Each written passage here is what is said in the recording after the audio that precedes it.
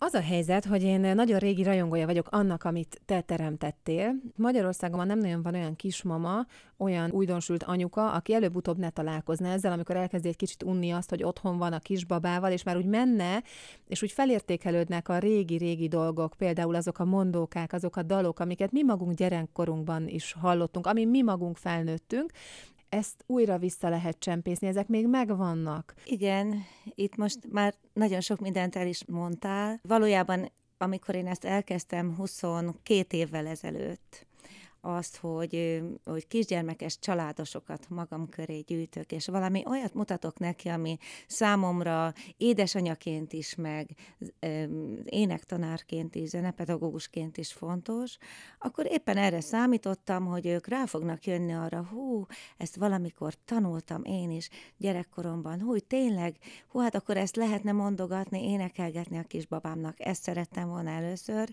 és nem csak e-, ezt a bizonyos aha élményt megmutatni a szülőknek, hanem, hanem az, hogy ez jó. Tehát, hogy ez mitől lehet nagyon élményszerű, hogy a zsíbzsup az mitől kedves, vagy mitől szép, vagy az a ö, magyar népdal, hogy kiskecelányom, az hogy tud tényleg szép lenni, nem csak egy iskolai tandal, amit meg kellett valamikor tanulni, vagy szolmizálni kellett, vagy, vagy a nem tudom, bármelyik olyan ismert magyar népdal, ami iskolai emlék lehet, újra, újra életet adva annak, és örömet adva annak, hogyan tudjuk mi ott közösségben azt együtt élményként átélni, és hát sok minden más új dolgot is tanítunk a szülőknek. Gondoltad volna, amikor először is, majd mindjárt beszélünk hosszabban is a kezdetekről, hogy ez hogy, hogy alakult, mert ez egy nem egy tudatos dolog volt, olyannyira tudatos és tervezett, hogy tudtad, hogy ez ekkorában hát, futja ki magát, van, és így kinövi magát ez a történet, de hogy gondoltad-e volna akkor, hogy ez ilyen nagyszabású lesz, hogy egy országos kezdeményezés indul el? Hát amikor elkezdtem, eszembe nem jutott. Hogy kezdődött? Tényleg úgy, ke- hát ez úgy kezdődött, hogy én Szexádon a tanítóképző főiskolán óvónőket tanítottam, ének, zene és módszertan, ez volt a tárgynak a neve az órarendben, és, és igen, és akkor Forrai Kati néni segített nekem abban, hogy mit is kell tanítani itt a, a, az óvónőkép, vagy a főiskolai hallgatóimnak, akikből majd óvónéni lesz, mert amikor én énektanárként diplomáztam, akkor ezzel a korosztályjal mi egyáltalán nem foglalkozunk. Tehát az óvodás módszertant mi nem tanultuk akkor. Az óvodai zenei nevelésről nem tanultunk. És akkor megkerestem Kati nénit, hogy akkor ugye nem ismertem még őt, de azt gondoltam, hogy nagyon szeretnék a legjobbtól a leg leghitelesebbtől, a legnagyobb tudásútól. ő az, aki Kodály Zoltán tanítványa. Pontosan, ő. igen, és akkor akkor ő nagyon sokat segített nekem, hogy ezt csináld, ezt csináld, így kell, így kell, így kell, és akkor én elkezdtem óvodásokkal is foglalkozni, hogy ne csak a könyvekből tanítsam a hallgatóimat. És ez egy, ez egy hihetetlen nagy dolog volt nekem, hogy ott a kisgyerekek között sok mindent megtudtam tanulni szinte a gyakorlatból, amit aztán taníthattam a, a főiskolásoknak is, hát nyilván megvan az embernek a zenei, zenepedagógiai háttértudása azért. Ez is is szépen összeállt, de hát ők óvodások voltak, a ringatóban pedig kisebb gyerekeket hoznak oda az anyukák. Ez egészen csecsemőket, tehát ilyen fél éves Igen, az egy, a, és az életkor az pedig nagyon-nagyon fontos, tehát nagyon, nagyon más egy óvodás kisgyerek, egy három-négy-öt éves, mint egy egyéves. Beszélünk tehát ez nagyon-nagyon-nagyon nagyon, más. Igen. És akkor ott az egyik anyuka, egy óvodás kisgyereknek az anyukája mondta, hogy ó, ide a zeneóvodába úgy elhoznám a kis testvért is, és mondtam, hogy hát azt nem lehet. Hát ide az öt évesek közé egy éves alig tud járni, mi körjátékokat, nem lehet más. Nem lehet, de ő elültette így a fülembe a bogarat, hogy ha Kodályra gondolunk, és Kodály azt mondta, hogy a zenei nevelés a születéstől kezdődik, vagy még korábban van egy nagyon szellemes mondás erre, már szinte szállógévé vált, sokan ismerik is gondolom. Tehát, hogy nagyon-nagyon korán az édesanyja születése előtt kell kezdeni ezt a bizonyos zenei nevelést, de hát akkor hol, vagy hogyan, vagy akkor két-három éves kor alatt nincsen direkt tanítás, ezt tudjuk, akkor ingereket biztosítunk.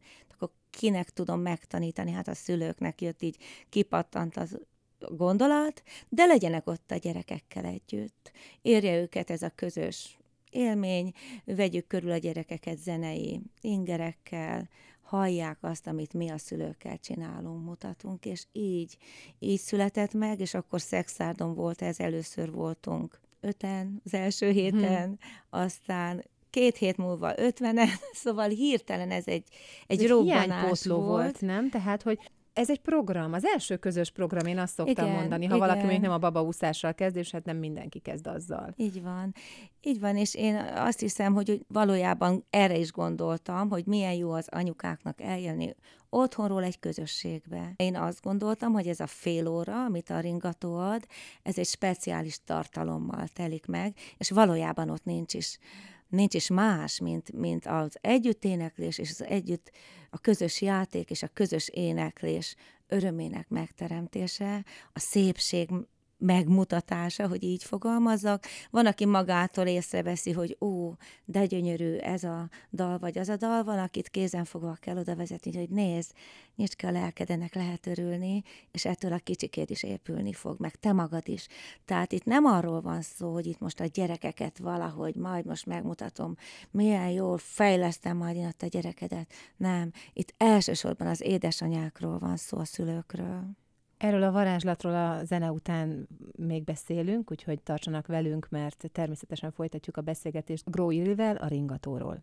Olyannyira sminken túl vagyunk ma, hogy egy varázslatos témánk van, ez pedig a korai zenei nevelés, a stúdió vendége Gróili. Ennek az egésznek a megteremtője, megálmodója. A beszélgetés előző részében arról volt szó, hogy tulajdonképpen hogy indult ez az egész, hogy azért egy anyuka motivált téged arra, hogy mi lenne, ha picit is elhozná az ovis foglalkozásra, és aztán elmesélted, hogy pontosan Szexárdon hogy indult ez és ennél a varázslatnál tartottunk. Hogy mi történik ott abban a fél órában, amikor előjönnek valahonnan a, az anyukák emlékeiből is úgy elő kúsznak ezek a régi mondókák és dalok. Szóval ezt már fejtegettette, hogy mi, mi ennek a varázslatnak a lényege? Én azt hiszem, hogy mindenkinél más. Most így gondol, itt megjelennek előttem arcok, történetek, anyukák, amit elmesélnek arról a helyzetről, amikor először ott, ott voltak. Azok az anyukák, akik a harmadik gyerekükkel visszajönnek, biztos, hogy oka van, biztos valami megszületett bennük, valami olyan érzés, amiért visszajönnek. Én, ha foglalkozás vezető, vagy így az énektanár alapító szempontjából, oldaláról nézem, én azt gondolom, hogy mindenek előtt meg kell teremtenünk ehhez a varázs varázslathoz egy olyan légkört ott, amiben az anyukák nem feszengenek, nem, nem félnek tőle, érzik az elfogadást, érzik azt, hogy ott lenni jó. Ahogy leülünk a szőnyegre, így most itt nézem a stúdiót, itt is lehetne egy kiváló ringatót tartani, leülünk a szőnyegre, és érezze azt, mintha otthon ülne le a kis szobában a kisgyerekével, akivel éppen rakosgat vagy játszik.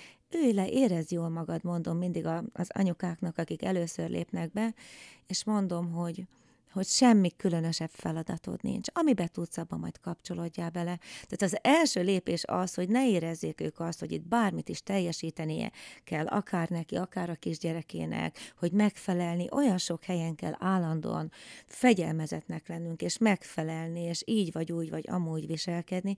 Ő most érezze azt, hogy ott, ahogy ő megjelent, ott őt úgy elfogadják, és az sem baj, ha nem tud énekelni. Itt majd valaki segít neki. Itt majd valaki úgy vezeti ezt a fél órát, hogy ő mindent tudni fog közben, és ő annak örülni fog, ami ott történik. Tehát van egy ilyen nagyon erős emberi lélektani oldala, és akkor jön a zenei művészet pedagógia oldala, amiről tudjuk, hogy az énekszó, a mondóka, az a dal így fog hatni. Ha azt a foglalkozást így építem fel, hogy ott egy kicsit felfuttatom a hangulatot, mert, mert tudom, hogy hogy lehet ott egy, egy katartikus hangulatot ö, létrehozni, ezt tanítom a lányoknak a foglalkozáson is, utána milyen lesz a nyugvópont. Aha, szóval, hogy ezek a fél órák, bár 30 percről van szó, ezek így fel vannak építve? Ezek Tehát ezt tanítod azoknak, a, azoknak a tanároknak, ennek, igen, zenepedagógusoknak, Tehát akik ennek utána van vidékre egy, mondjuk elviszik? Igen, ennek van egy, egyfajta dramaturgiája, amit én itt a 20, 22 év alatt a, mondhatom azt, talán nem szerénytelenség, hogy kidolgoztam, és, és nyilván hatni akarunk az ott ülő szülőkre, anyukákra,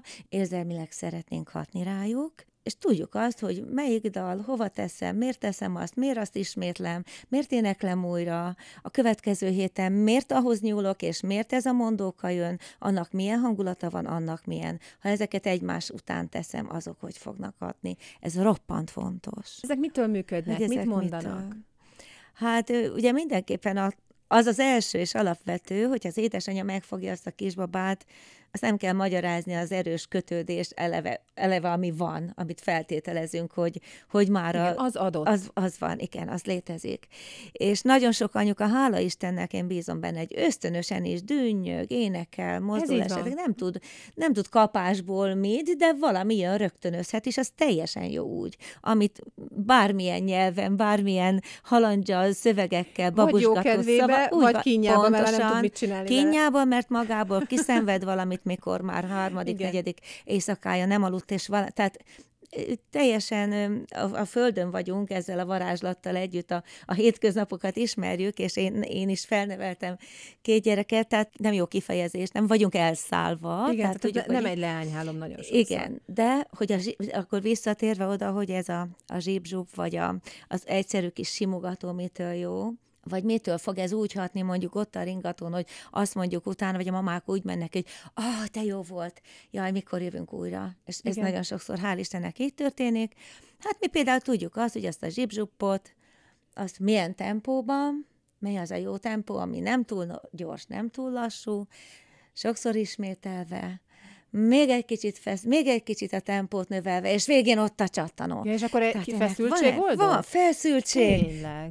Oldás és a, az a sok ismétlés, a sok mozdulat, gondolj arra, sok egyforma mozdulat nem lesz unalmas, hanem az valami örömet hoz. A gyerekek amúgy is imádják az ismétlődést, és, és bennünk is megszületik ettől az állandó lüktetéstől, az együttes mondogatástól, tehát ettől megszületik egyfajta érzelmi feszültség és oldódás. És minden ölbéli játéknak megvan ez az oldódása, öröme, mindegyiknek valami más mozdulata, mindegyiknek valami más másfajta, másfajta felépítése, ez jó, nyilván ez a változatosság jó, de ez az ismétlődés, visszatérek, tudom, hogy hányszor, tudom, hogy miért, tudom, hogy akkor fogja megtanulni, amikor még egyszer elmondom. Szóval nagyon, nagyon szépen épülget ez az egész fél óra úgy, hogy mögötte van egy olyan tudás és tapasztalat és gyakorlat. Bár azt mondják, hogy te ezt most rögtönözted, mert olyan, olyan, olyan volt, mintha most találtad volna ki. Igen, nagyon sok dolgot akkor alakítok ahhoz a helyzethez, de közben olyan mennyiségű tudása kell, hogy legyen a foglalkozás vezetőnek, hogy ott képes legyen egy fél óra alatt rögtönözni egy kiválóan felépített foglalkozás. Most megleptél egyébként, mert tudtam én, hogy a rendszer nagyon jól működik, de nem tudtam, hogy emögött ekkora hatalmas tudás van. Innen folytatjuk a zene után ma aztán tényleg sminkről egyáltalán nincs szó, viszont van szó zenéről, zenei nevelésről, anyává válásról, annyi sok mindenről, mert hogy a vendégem Róili, aki a ringató foglalkozások megálmodója, kitalálója, és egyébként ez egy önmagában véve vállalkozásnak sem egy utolsó, bár nyilván nem így indult. Az a klassz, amikor így, így valami szívből elindul, és ilyen nagyják kinövi magát. Hát hány helyszínen oktatnak ma, vagy hány helyszínen vannak jelen a ringatós kiképzett pedagógusok? Tudsz erre valami szám? Hat, Nyilván tudsz. 65 tanítványom van az országon belül és a határainkon túl is, már felvidéken, Kárpátalján, Erdélyben és a Vajdaságban is, a, a a Közigazgatás és Igazságügyi Minisztérium Nemzetpolitikai Államtitkársága, akik a külhoni magyarokkal foglalkoznak, mellénk állt, és így most a határainkon túl is, hála Istennek, vannak olyan foglalkozás vezetők, akik összegyűjtik a kis magyar közösségeket ezeken a szorványtelepüléseken Szóval is. gondoltad volna, hogy egyszer ilyen hatása van, vagy hát ennyire? Hát ez, ez, ez most nekem egy óriási dolog, tavaly ez egy nagyon komoly meg vissza, a minisztérium. Igen, visszaigazolás, igen. Hogy, hogy, hogy ez jó, jó ez az irány. Igen, én is azt gondolom, hogy az, hogy ő most tényleg a tavaly is és idén is úgy, úgy keresett meg engem a minisztérium, hogy, hogy csináljuk ezt együtt, és idén folytassuk, mert nagyon sikeres, éppen azt mondom, hogy Pozsonyban, vagy, vagy Füleken, vagy Tornalján, ezek a felvidéki magyar települések Galántán, vagy Székelyudvarhelyen, a Hargita tövében a Ringató, meg még sok-sok más településen a határainkon túl, ez egy hihetetlen nagy örömet és ad, és nagy erőt érzek ebben. Vagy azt mondtad, hogy vállalkozás. Igen, megkockáztattam. Láttam az arcodon, hogy ez nem volt egyértelműen helyes kifejezés a részemről, de hát valljuk be, ma már kiadványaitok vannak, könyveitek Igen. vannak, arra nem gondoltam, hogy ekkora rendszerré növi ki magát. Tehát, hogy nem gondoltam, hogy ennyi minden fűződik majd ahhoz, amit én valaha elkezdtem, hogy tényleg könyveink jelentek meg, most dolgozunk egy újabb olyan könyvön, ami, amire én már nagyon régóta vágytam, amiben Kodály Zoltán, Vörös Sándor dalok lesznek, Sárkányparipán vágtattam. Most dolgozunk a CD-jén, nem tudom, hányadik éjszakát töltöttük a stúdióban, nagyszerű kolléganőim és kiváló népzenészek fognak muzsikálni a CD-n, tehát akkora öröm, és, és olyan, olyan csodálatos ez a munka, ugyanakkor azt mondom, hogy, hogy biztos furcsán hangzik, nem egy nagy vállalkozás, ugyanis úgy néz ki, mintha ez franchise lenne, de nem az. Szóval az a 65 tanítványom, aki ott van a honlapon, és látni lehet őket, ők elvégzik ezt a tanfolyamot, amit én évente egyszer tartok, de válogatott tanítványok, tehát alkalmassági vizsgával. Ó, van lehet. felvételi. Ah, igen, uh-huh. igen. Tehát az, hogy jó zenész, zenész legyen az a belépő, de az, hogy egy rátermett ember, hogy emberként is úgy állja meg ebben a helyzetben a helyét, ahogy én szeretném, azt én nagyon-nagyon-nagyon megnézem. És hány ember, hány tanítványod van évente? Hát az elmúlt évben a tanfolyamon 63 jelentkezőből 12-t választottam ki. Aha, tehát, hogy odáig mm, eljutni mm. sem egyszerű. És ezért is mondom, hogy ez, ez nem vállalkozás, mert ha az lenne, akkor 63-an végezték volna el a tanfolyamot. És ha el, mikor elvégzik a tanfolyamot, akkor utána köztünk már egy nagyon erős szakmai, emberi szál van, egy erős kötődés, azt mondom, hogy van egy utógondozás, egy folyamatos kapcsolattartás, folyamatos szakmai programokat szervezek a lányoknak, és jönnek a nagy rendezvényekre, lelkesek, emberek, viszik a ringató nevét, hálás vagyok érte, de köztünk ettől kezdve anyagi kapcsolat nem, nincsen. Igen, nem vállalkozóként, igen, igen, alvállalkozóként igen, működnek. Igen, így nem alvállalkozók, így van, pontosan. De a szál, egy erős szál ott van. Az egyformán gondolkodás, az, hogy jót s jól, tehát, hogy értéket adjunk, értékeset, magyart, nem bóvlit, és hogy annak az átadásnak a módja élményszerű legyen, ez egy fontos szó számunkra mit ad ez a foglalkozás az anyukáknak és a gyerekeknek. És azt gondolom egyébként a pedagógusnak is, aki ott ül, hiszen egy embert próbáló ez a munka, de hogy mit ad abban az első e- együtt töltött egy évbe vagy két évbe, amit egy anyuka otthon van a gyerekkel. Miért nem szabad ezt kihagynunk? Tudom, hogy gyorsan élünk, tudom, hogy, hogy nincs semmire időnk, de hogy ezt miért nem szabad kihagyni? Én azt gondolom, hogy a, az édesanyák ott rádöbbennek, aki esetleg még eddig nem jött volna rá magától rádöbben arra, hogy mi minden van még azon kívül, vagy amellett is, ahogy eddig élt, vagy ahogy élnek, vagy amiket tesznek a hétköznapjakban, hogy mennyi lehetőség van még arra, hogy a kisgyerekére odafigyeljen, és hogy milyen tartalommal töltse meg éppen ezt az odafigyelést, hogyan adja át a szeretetét egy énekkel, egy dallal. Ez az, amiért csináljuk egyrészt, tehát ez az öröm, ez az élmény, amit ott átélnek, és viszik haza, és apuka is tudja a dalokat, a magyar dalokat.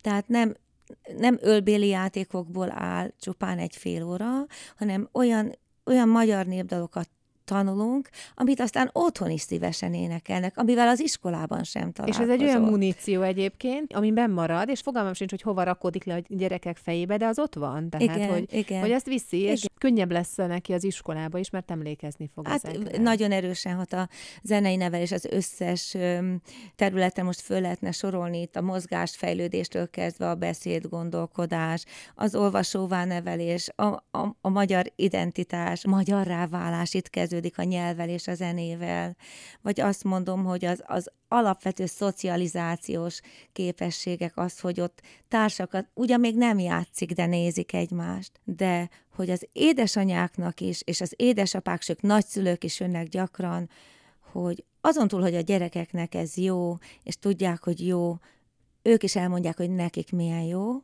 ott lenni, mert ez a bizonyos közös éneklés, ahol mi olykor kánonokat is énekelünk, több szólamban is megszólal valami, meg mindegyik foglalkozás vezető valamilyen hangszeren játszik, az is nagy öröm és élmény a felnőtteknek és a gyerekeknek egyaránt, és az előbb kérdezted, vagy ugye ezt mondtad, hogy aki a foglalkozást vezeti, annak is milyen jó. Hát igen, az én lányaim elmondják, akik úgy tényleg ráéreznek, és tényleg ügyesek, és sok foglalkozást vezetnek sok helyszínen, ők aztán egyszer csak azt mondják, hogy te, Ili, nekem ez a ringató, ez nekem terápia. Hát én mhm. minden héten alig várom, hogy ott legyek köztük. És minden héten alig várom, hogy valamit együtt létrehozzunk ott az alatt a fél óra alatt, a 15-20 vagy 25 anyukával, meg kisgyerekkel. Azt hiszem, hogy ezt a beszélgetést valószínűleg holnap reggelig folytathatnánk, de most ennyi volt az időnk, úgyhogy én nagyon szépen köszönöm Groilinek, a ringató megálmodójának, kitalálójának és működtetőjének, és nem tudom, a tudás átadójának, hogy itt volt velünk. Köszönöm, hogy beszélgethettünk, és gyere máskor is hozzánk. Köszönöm szépen, hogy elhívtatok.